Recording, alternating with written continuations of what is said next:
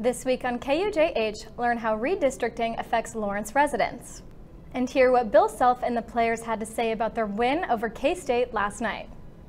Welcome to KUJH. I'm Olivia Acree. And I'm Johan Marin. Many cities in Kansas may soon belong to a different district, as the Kansas legislature overturned Governor Laura Kelly's veto on the proposed state congressional district map. The Kansas Senate is working on a map to redraw the four existing congressional districts. Cities like Lawrence, Eudora, and Baldwin City could not be split up.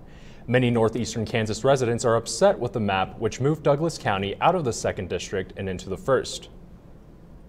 On how we slice up northeast Kansas, we're putting all the focus on Wyandotte, Lawrence, and pulling them into all these other districts. This move takes Lawrence, which is considered a Democratic stronghold, to a rural, more conservative part of the state. And the one thing that never changes on these maps is the magic halo of Wichita. But somehow, northeast Kansas is required to slice and dice, and we have to make all these machinations. The House and Senate overrode Kelly's veto on February 9th, which enacted the redistricted map across the state. A plethora of phone call scammers are starting to pose as law enforcement officers, and it's leaving many city officials concerned. It's gotten a lot worse, um, and they're actually now using um, legitimate uh, staff names. For many, a phone call from a law enforcement officer can be concerning, but it's even more concerning when that phone call is actually from a scammer.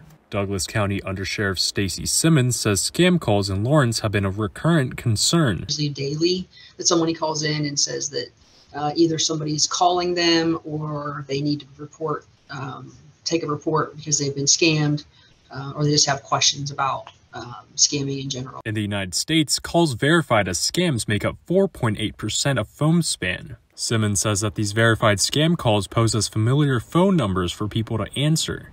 They, use um, spoofing numbers, and so what that is, um, it's actually illegal. Uh, they make it so that somebody um, maybe recognizes a phone number or comes up um, as something they recognize from that area code, and so people will answer it, um, and it'll say, you know, like Douglas County Sheriff's Office on it or, or Police Department. For residents that do pick up a scam call, Simmons says city officials will never ask Lawrence residents for money. And they're asking for iTunes gift cards or asking for cash. Um, and it's, it's, like I said, it's different amounts up to $8,000, um, a couple hundred dollars. City officials advise Lawrence residents not to pick up their phones unless they expect a call from law enforcement. If you or someone else are unsure whether you have been scammed through the phone, make sure to call your local sheriff's office. According to a report from Inside Higher Education, faculty at the University of Kansas is determined to stop the elimination of 42 academic programs. The KU Senate agreed to cut 28 of the proposed program eliminations, but those programs are mainly in inactive and won't affect students. However, faculty members have argued the other 14 are too important to cut. Some of those programs include humanities, Latin American and Caribbean studies, and visual art education. KUJH's Sam Lance talked to one of KU's visual art education faculty members, Liz Kovalchuk. She said over email KU will not be cutting the program. Instead, the program will transition into a BFA in the visual art department and will be a new track. The Vice Provost's office accepted the proposal two weeks ago, and now Kovalchuk hopes the changes can be up and running by May so the school doesn't lose enrollment. Kovalchuk is one of several faculty still fighting for their programs. Now let's take a look at how this transition is affecting professors and students in the program. Reporter Alyssa Wingo tells us more about this new transition. As the Faculty Senate held hearings to decide which programs to cut last fall, the Visual Arts Education program was headed towards discontinuance. Due to large amounts of support, the Senate voted to continue the program, which teaches students how to become art teachers. However, Professor Liz Langdon says the provost had other plans for their program. While students will no longer be able to major in visual arts education, they will be able to obtain a bachelor's in fine arts with an emphasis on it instead it's a little bit different. Their um, arts education may not be quite as broad. Many supporters of the program showed up to the hearing to speak on the importance of arts education, which was why the Faculty Senate voted to keep the program at KU. We got letters of support and local art educators that have been in the field and know how important it is and who really appreciate the education they got here um, they were very verbal and spoke up. However, even with the outpour of support and a vote to keep the program, the university administration decided to change it to an emphasis in the fine arts degree, which is not what Langdon or her colleagues were expecting. It was a unanimous vote to support our program, which we thought was going to be the end of it. Langdon says offering arts education at KU is so important for the future generation of both students and teachers in the field. She hopes KU will show more support for the arts in the future as her program transitions. Regional art teachers and we have a amazing art department that supports it. So to take out that key element does not make sense. Reporting for KUJH, I'm Alyssa Wingo. Thank you, Alyssa. After confusion about the program's continuance last semester, it wants students to know that the visual arts program will still be offering classes this spring and into the next academic school year. Well, earlier this week, we saw a little bit of snow, but it was nothing like we saw last week. Now, let's send it over to Halen Wilhite. Halen, what can you tell us about the weather and what it will look like in the next few hours? Well, it's certainly been a wild week of weather here at KU. We saw temperatures getting up to, well, we had that winter storm last week that gave us about seven to eight inches here at KU. Then we saw temperatures getting up into those 70s on Monday and then just plummeting once we got into Tuesday. And it's been so bitterly cold out here. When you're out here, the, the cold is just nipping at your face. Temperatures only been getting into those 20s. But good news is that looking ahead this weekend and going into next week, we are going to be seeing some relief although still got to hold on to those cold temperatures for the next 24 to 48 hours and going to be tracking a little bit of some snow going ahead for tomorrow. But just sit on tight there. We've got that warm weather on the way. Back to you in the studio. Thanks, Helen. I know I'm done with the cold weather. Are you? Oh, me too. Coming up next on KUJH, what is Student Senate doing to improve accessibility on campus? Stay tuned to find out.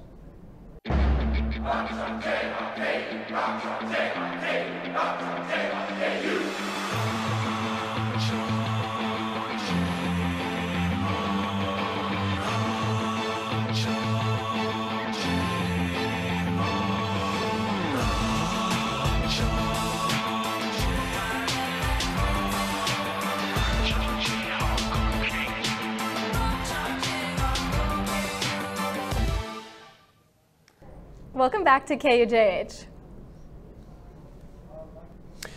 Accessibility on campus for disabled students is a big concern for Student Senate. Elise Noe tells us how Student Senate is handling this concern.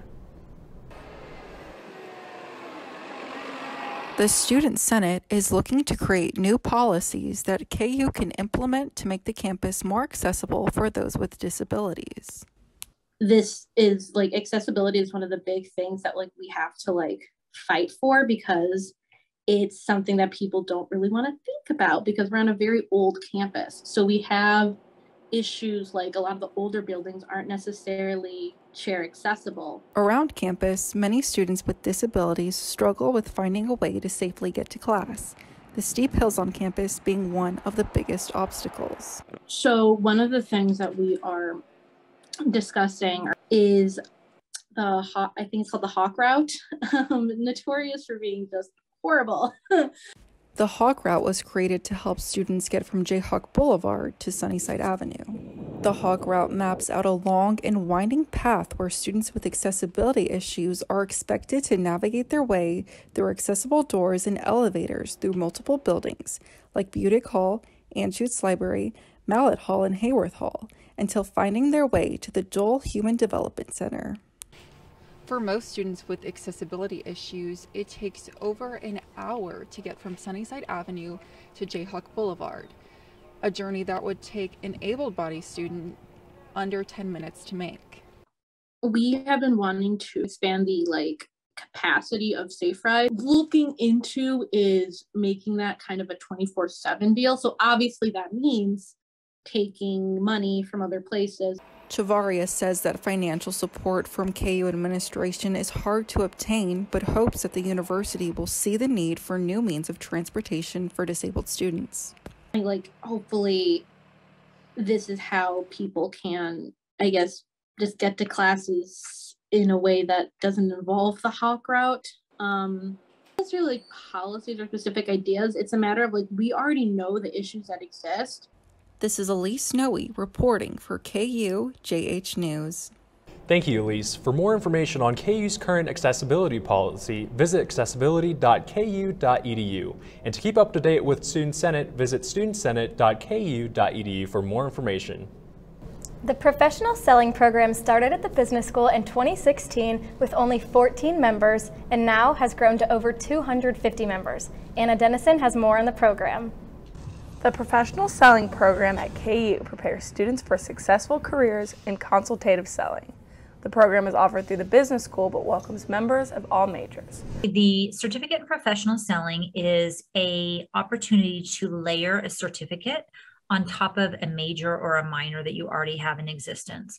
And so um, once you decide to pursue the certificate, what makes it really special is there's a there's a component of classroom work. To earn a professional selling certificate, students must take three specific courses and complete four experiential activities such as a sales competition or a networking mixer. I joined because I wanted to go into sales post graduation. So I, the program was a great step. I was excited to you know, advance my knowledge of sales before I started like working as a sales rep. The program has corporate partners that help students with the experiential activities. I've been exposed to different companies and been able to connect with different individuals from the networking mixers and mock interviews and I actually have my internship now from a mock interview that I did through the professional selling program. Helling says the program can be extremely helpful to students entering the workforce.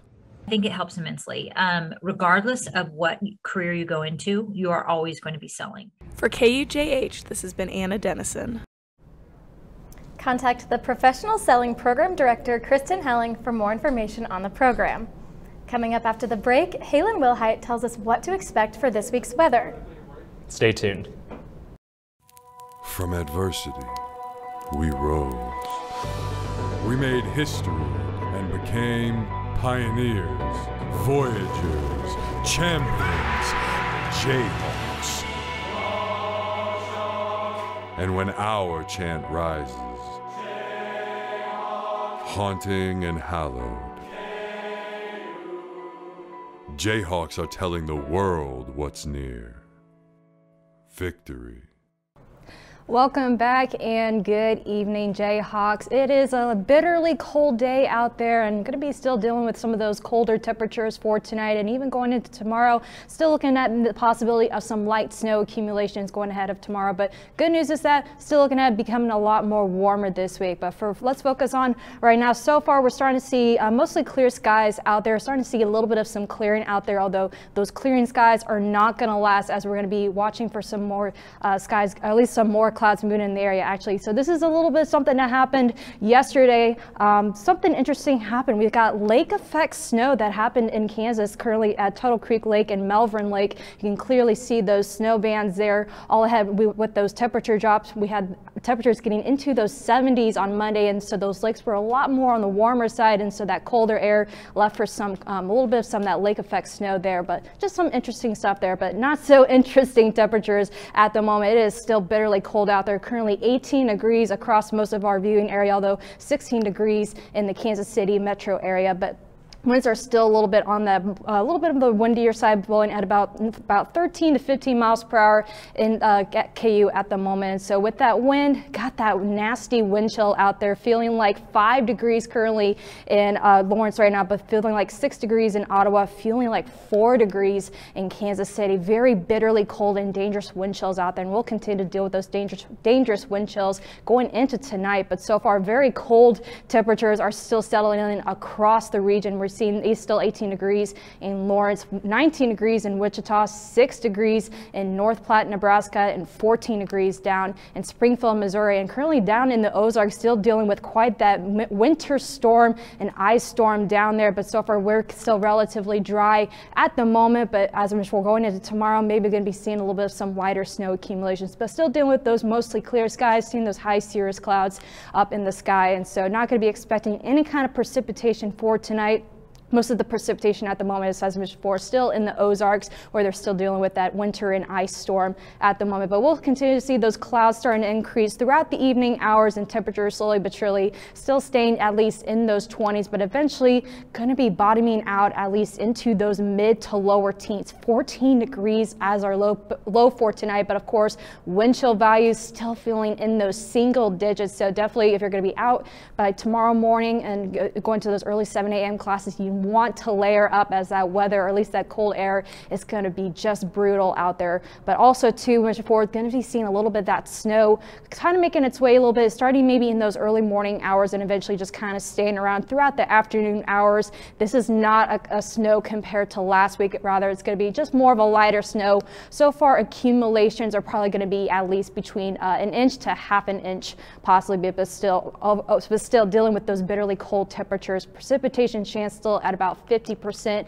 and those northeast winds blowing at about 5 to 10 miles per hour. But here's so far that uh, potential snowfall accumulation still dealing with those at least between a, uh, a, half an inch to an inch of snow for tomorrow. But still looking ahead, could be seeing some much milder weather ahead for us going into next week. Maybe seeing the return of those 60s going into next week. Much nicer weather is in store for us. So just hang in there, Jayhawks, and also be sure to stick around for some uh, of your latest updates in sports. Diversity. What is diversity? It can be an umbrella term for a variety of things, ranging from diversity among different people, places, cultures, and ideas to the way people express themselves and the way they interact with the world. In today's world, people interact with one another and share their thoughts through social media. Let's take Twitter for example. How are people of different backgrounds, ethnicities, and sexual orientations with different political beliefs, interests, and job titles using this platform differently? Currently, celebrities are interacting with their fans on Twitter by speaking their minds, sharing their beliefs, and supporting social issues. Professional sports figures and organizations in the United States are using Twitter to support social causes and bring attention to current social matters, such as encouraging their fans to vote. Users are voicing their opinions about current issues surrounding racial inequalities, social injustice, and police brutality in the United States. There's diversity in the way people are discussing the upcoming presidential election, especially regarding their opinions of each candidate. Different news outlets are not only highlighting stories in the US, but are talking about important stories from around the world. But many Twitter users don't post about controversial matters or social issues at all. Rather, they use their platform to create memes and post funny content for entertainment. While many topics going around this app involve social issues and political opinions, Twitter creates a space where people can pull together collections of diverse thoughts, comments, opinions, goals, and even a little humor too. So, how can we use this platform to express our differences? More importantly, how can we use it to learn from each other's differences today? Welcome back to KUJH. Let's check in with Sports Director Andrew Lind, who tells us what Kansas coach Bill Self and players said last night after their 102 83 win over Kansas State. Well, last night, Bill, Bill Self was more than pleased with his team's showing in the Sunflower Showdown. It was a combination of playing fast and a second half surge. Here's what Coach Self had to say. We played pretty well offensively. I mean, uh, we were cooking there for a while, and and uh, you know, K State played pretty well offensively too. Uh, we couldn't stop them, and they couldn't stop us. Monday night's matchup began in familiar fashion as one team scored and then the other, going back and forth pretty much the entire first half. In the second, though, junior Christian Braun emerged with nine of the Jayhawks' first 14 points. I don't, I don't think any team in the country can play that fast with us. Um, and we're a good team in transition, so if teams want to play like that, um, you know, then we'll score 100 points. And a third of those points came from the bench, a point of emphasis that Coach Self has been harping on for some time now. Super senior Jalen Coleman Lands understands the assignment. He Getting acclimated and, you know, playing with these guys and uh, just kind of finding my fit uh, is getting better as I progress. Um, and it's just really just being consistent, having that opportunity, and making the most out of it. But Self knows that this game isn't a good representation of what his team will face this weekend in Waco. You know, this is just one game, and, and the Baylor game will not be like this game. Uh, uh, they're going to try to play fast, but it'll be more opportunistic playing fast, and, and we're not going to be able to go down there and, and, and, and have this many possessions. While the Jayhawks took the court, approximately 4,000 students also took the seats by camping throughout the week. But the process of camping isn't as easy as shooting a free throw. Ryan Atchison shows us behind the scenes of how camping pieces together the atmosphere of what makes KU basketball so special. Whether it's shuffling cards, catching up on home, whether it's shuffling cards, catching up on homework, or even just relaxing for a bit. In order for thousands of students to fill Allen Fieldhouse, it starts here at camping. But you may not know that the people who make the camping experience happen are in a very similar situation. It's a lot of commitment. We don't get really any perks from it. No volunteer experience. We're not paid, just students. Junior Madeline Edmonds is the head of organizing hundreds of camping students at Jayhawk basketball games. But she doesn't do this just on her own. There's seven of us currently on leadership, so typically one of the seven can come down to the field house. Because being outnumbered is not an easy task.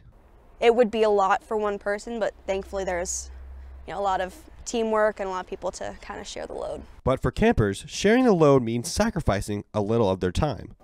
One week before every home game, the doors open bright and early. And after a lottery, groups of students will take turns holding their positions for the best possible spot at the game. It's been a pretty good experience so far. It's not that hard. Just we have a good group of people and we just have a good system, so we make it work. While campers continue to keep a system that works, for Edmonds, it's making the experience worthwhile. It's a lot of work, but we, we do it because we care and because, you know, we love basketball and we want to keep the tradition going. This has been Ryan Atchison reporting for KUJH News. KU men's basketball plays two more times in Allen Fieldhouse with games on March 1st against TCU and on March 5th against Texas. In other basketball news, the KU women are just one game behind number 9 Iowa State in the Big 12 conference standings. The Cyclones are tied with Baylor for first, but the Jayhawks have a chance to change that up in tonight's matchup. As women's basketball looks to extend its seven-game win streak, the KU women's team is on a five-game winning streak of their own. KU defeated number 16 Old Dominion 4-2 at Rock Chalk Park on Sunday. Head to our website at tv.ku.edu for a recap of Sunday's win. Now, let's send it back to Johan and Olivia. Thanks, Andrew. Camping is already underway for the upcoming game against TCU. Coming up, Elise Noe is going to give us some big news and entertainment. Stay tuned. Where you go to college makes a statement about you. This place will become a part of you, your identity for life.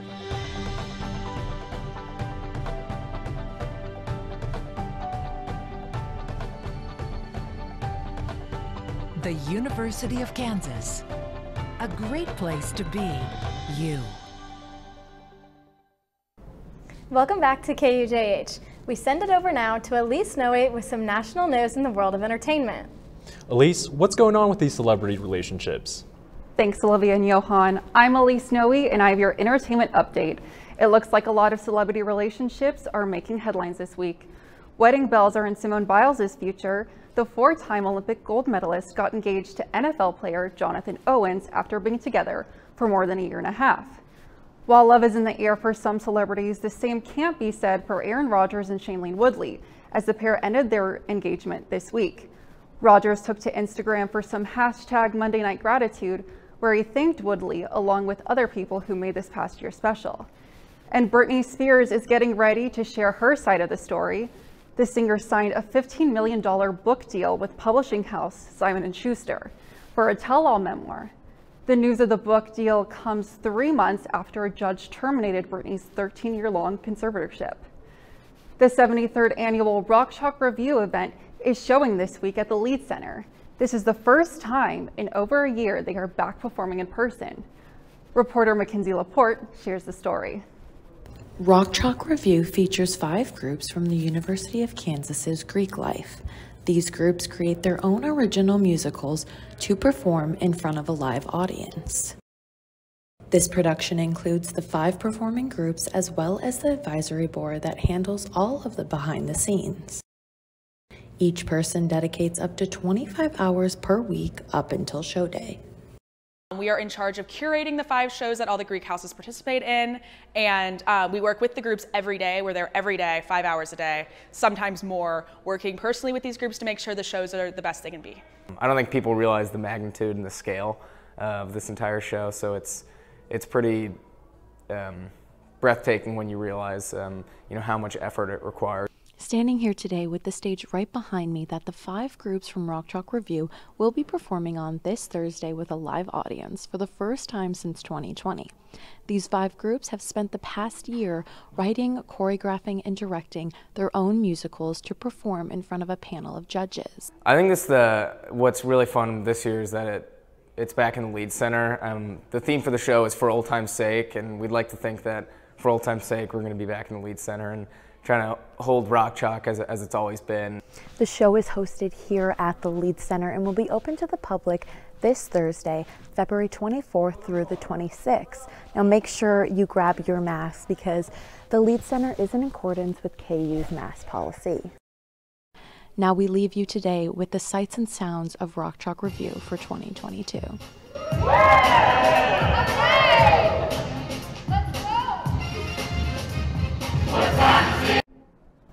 Not only do these students sing and dance, but they also raise money for a local charity every year.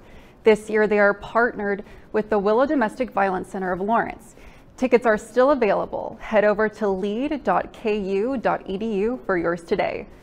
There you have it, your entertainment news for the week. Back to you, Olivia and Johan. Thanks, Elise. A lot of news this past week from Hollywood. Coming up on KUJH, we look at the most popular Girl Scout cookies here on campus. Stay tuned.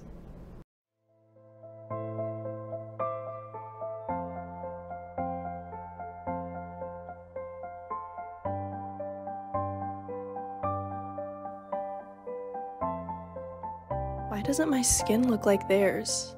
Why is my nose so big? I'm never gonna look like those girls.